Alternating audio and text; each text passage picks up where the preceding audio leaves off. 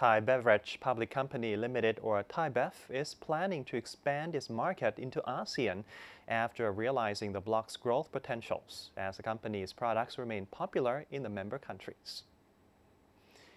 ThaiBev President and CEO Thapana Sirivadhanabhakdi made the statement, saying that ThaiBev's business strategy in 2020 to 2025 will focus on the expansion of its products in ASEAN markets, especially liquor and beer. The beverage giant aims to penetrate the markets with food products and healthy beverages by posi positioning these products to target more on the elderly population and to improve its human resources in keeping with technological changes.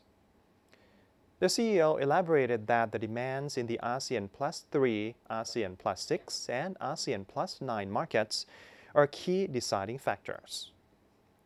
Additionally, he revealed the company's financial report from October 2018 to June 2019, covering the company's liquor, beer, drinking water, and food products, as well as other business units. The company has made 205.277 billion baht revenue in the first nine months of 2019 fiscal year, showing an 18.2% growth year on year.